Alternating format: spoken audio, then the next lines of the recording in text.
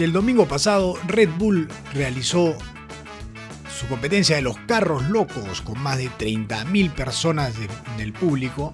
Y este es Auto 2050, el equipo de Auto 2014, que también tenía su carrito, el de Lorian que nos llegar al futuro, auspiciado por MG.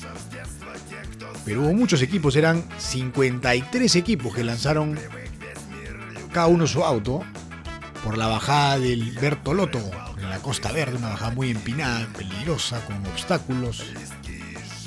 Pero fue muy divertido y mucha creatividad en cada uno de los vehículos. También estaba el jurado compuesto por Karen Schwartz, Rafaela Calmet del volei, la campeona del mundo de surf, Sofía Mulanovich, y de automovilismo Ramón Ferreiros. Cristian Bravo también estuvo. Ellos tomaban las decisiones de la creatividad porque te evaluaban por la creatividad en el baile, en los disfraces y en el tiempo que llegabas hasta abajo, los 400 metros. Este caballito de Totora, muy creativo.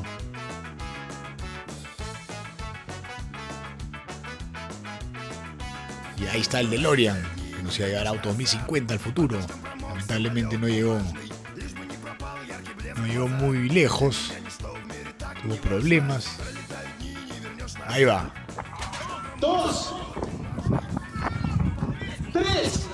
Sale DeLorean. ¡Vamos! ¡Ay!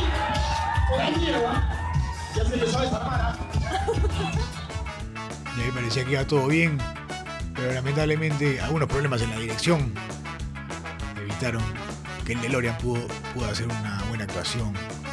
Y no ganamos, pero no importa, nos divertimos bastante.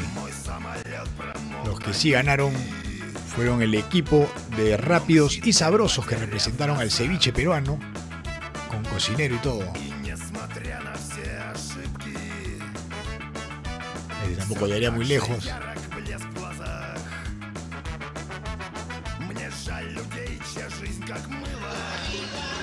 Y este es el ganador, rápidos y sabrosos.